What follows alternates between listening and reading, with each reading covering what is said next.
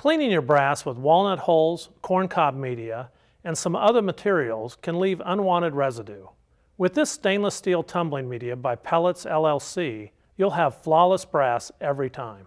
This media is made of very small diameter steel rods that roll around outside and inside the brass. The tiny rods are small enough to get into and clean the primer pocket. We recommend depriming the brass first, so the cleaning media can be used to its full potential. Use this media with water and a small amount of soap. These pellets will work best with a rotary tumbler, such as the Thumler's tumbler or the RCBS rotary tumbler. Because it's made of stainless steel, it has a much longer life than standard tumbling media. Remember, all Sinclair products are backed by our no-hassle, risk-free guarantee. If they don't meet your expectations with respect to quality, function, or value, simply return them. It's that easy.